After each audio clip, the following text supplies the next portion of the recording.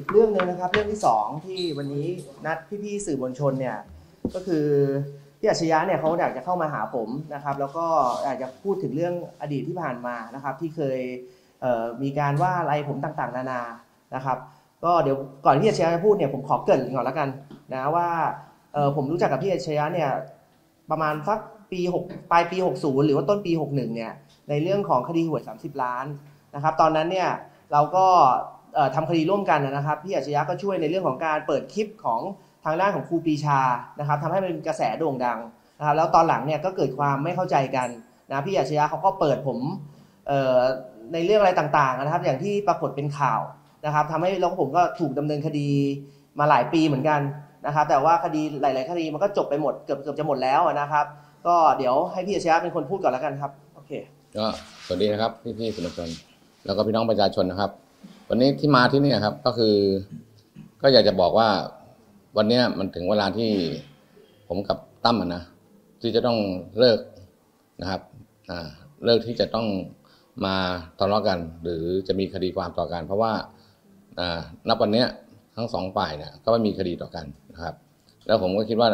เนื่องจากว่ามีการทุจริตคอร์รัปชันในวงราชการจำนวนมาก แล้วก็มีคดีความเสียหายต่อพี่น้องประชาชนคนยากจนเนี่ยจำนวนมาก นะครับดังนั้นเนี่ยผมเลยคิดว่าวันนี้ที่ผมมาที่เนี่ยนะก็เหมือนมาถ้ำเสือเนี่ยนะนะนะก็คือ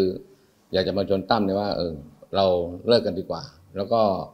มาทำงานรับใช้พี่น้องประชาชนด้วยกันในเรื่องของการช่วยเหลือสังคมนะครับ ที่มาวันนี้คือนะครับไอ้ที่ผ่านไปเนี่ยผมก็ยอมรับว่าบางส่วนเนี่ยก็มีข้อมูลที่คาดเคลื่อน แต่บางส่วนก็เป็นไปตามที่มีคำพิพากษาไปแล้วนะครับ ก็ถือว่ามันผ่านไปแล้วนะครับ ผมก็ยืนยันว่าวันนี้มาที่เนี่ย พื่อต้องการมาชวนเนี่ยนะตั้มเนี่ยให้มาทำงานช่วยเหลือสังคมด้วยกันเท่านั้นนะครับ ในตอนที่มีปัญหาเรื่องของสองบิ๊กตำรวจอะเหมือนโจมตีกันไปมาออกสื่อทุกวันเลยทำไมตอนนี้มันเปลี่ยนไปคุณทักษิณกับคุณเนวินชิดชอบนะก็เหมือนกัน วันนี้โลกมันเปลี่ยนไปนะครับ ผมคิดว่าขนาดคุณเนวินกับคุณทักษิณเขายังจับมือกันได้หลังจากที่มีเรื่องบาดหมางกันมานาน แต่วันเนี้ยผมกับตั้มก็มีเรื่องบาดหมางตั้งแต่ปี2561ต้นมาจนถึงวันเนี้ย67 ก็เป็นเวลา 6 ปีเนาะหกปีหกปีอืมผมคิดว่ามันถึงเวลาที่เราทั้งสองฝ่ายเนี่ย ผมเชื่อว่าถ้าถ้ามาช่วยกันเนี่ย ผมมันจะเป็นประโยชน์ต่อสังคมมากกว่า ที่จะมานั่งทะเลาะกันหรือมีเรื่องบาดหมางกันนะครับแต่ข้อมูลเราขัดแย้งกันมาตลอดเลยโดยโดยเฉพาะเรื่องของสองบิ๊กตำรวจต้องเข้าใจว่าต่างคนต่างทำหน้าที่นะครับ เพราะว่าอ่าผมก็พูดตรงๆว่า ผมเป็นผู้ดูแลด้านกฎหมายให้กับพี่ต่อศักดิ์กิจสุวิมลนะครับนะของพี่ตั้มก็มีหน้าที่ตรวจสอบพี่ต่อศักดิ์สุวิมลอันนั้นก็ต่างคนต่างทำหน้าที่ ผมก็เป็นที่ปรึกษากฎหมายของพี่ต่อนะของพี่ตั้มก็เป็นของในการตรวจสอบพี่ต่อก็เป็นเรื่องที่ดีที่ทั้งสองฝ่ายผมก็ยืนยันมาโดยตลอดอยู่แล้วว่า ต่อให้เป็นพบตรทำผิดนะครับ แล้วมีการตรวจสอบ ผมก็ไม่ช่วยนะครับ ทุกอย่างคือตรงไปตรงมาอยู่แล้ว แล้วตอนนี้ข้อมูลมันไปในทิศทางเดียวกันหรือย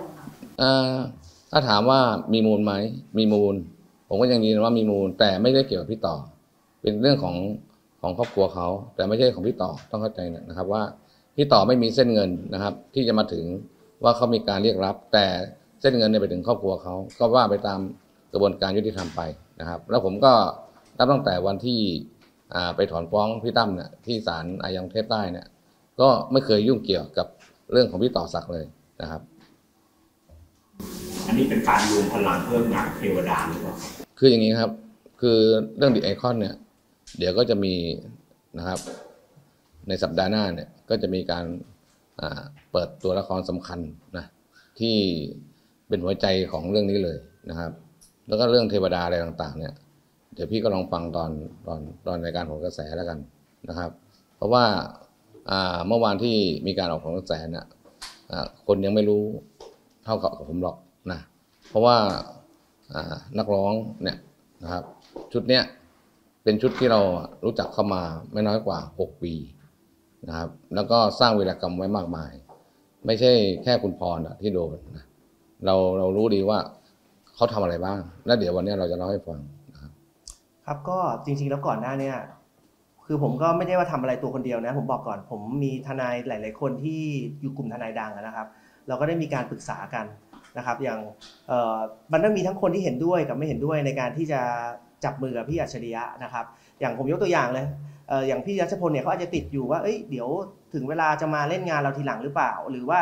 ถ้ารณรงค์รณรงค์ก็บอกแล้วแต่พี่ตั้มครับนะครับ คือในกลุ่มมันก็มีหลายความเห็นนะครับ แต่ว่าท้ายที่สุดเนี่ยเราพอเราคุยกันด้วยด้วยความเห็นแล้วว่าเออ ไอสิ่งที่เราบาดหมางกันมาเนี่ย มันมันเสียเวลาครับ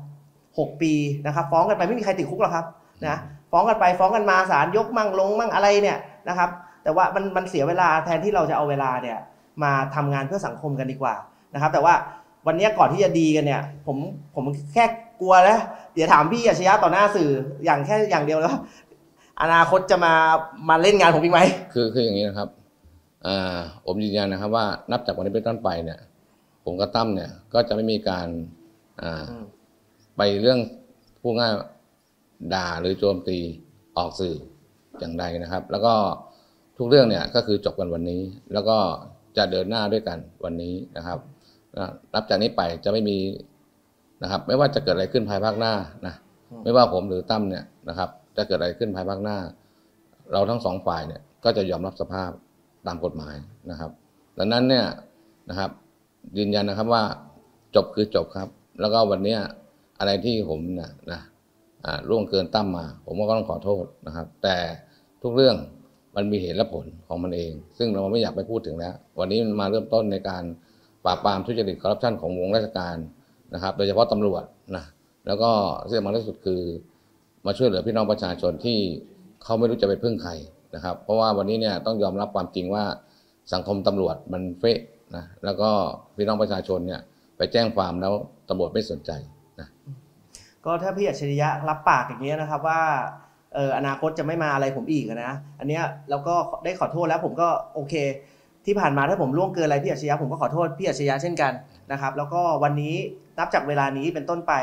นะครับทนายตั้มกับพี่อัจฉริยะนะครับเราจะมาร่วมกันทำเพื่อสังคมนะครับถ้าเกิดว่ามีอะไรที่เราจะพอช่วยเหลือหรือ support support ข้อมูลกันได้เนี่ย เราก็จะทำนะครับโดยเฉพาะองค์กรตำรวจนะครับเราก็อยากจะให้ดีขึ้นนะครับเพราะถือว่าพี่อัจฉริยะเนี่ยก็มีข้อมูลในเรื่องของตำรวจเนี่ยค่อนข้างจะมากนะครับเผลอๆแก connection เยอะกว่าผมอีกนะครับเพราะว่าของผมเนี่ย connection แค่สายเดียวแกมีสิบกว่าสายนะครับ